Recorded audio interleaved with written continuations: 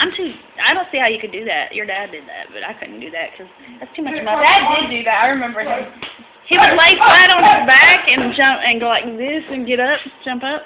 I didn't do that. You know, no. If you lay flat on your back, you can't. You can't just swing your legs and get up on a flat floor. On trampoline, yeah. No, on a flat floor. Dad was cool like that. I was cool like this. No. Look, you're so morpho morphodotted. Oh, he's so cute. So cute. That's my kid. That's him before the surgery. Look at this awful yellow. no, That's surgery. surgery. That's his, our Christmas.